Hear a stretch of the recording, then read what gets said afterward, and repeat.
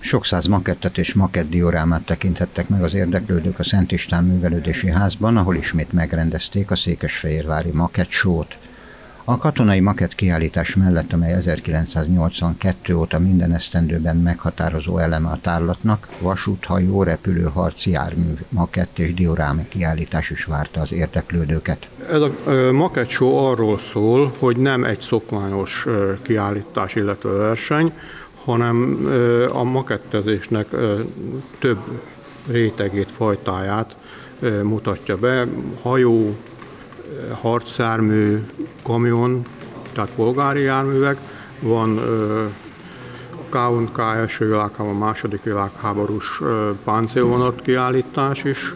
A kiállításon bemutatta alkotásait Szűcs Pál kastélymakettépítő mester is, aki fél évszázad alatt több mint 500 ezer darab gyufát használt fel makettjeihez.